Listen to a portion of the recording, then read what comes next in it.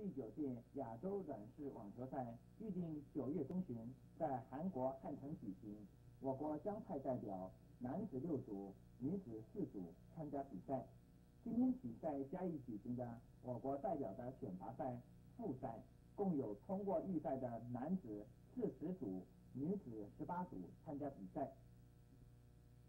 他们将在两天的比赛中以双淘汰的方式选出男子十四组、女子十组参加下个月在台中市举行的决赛。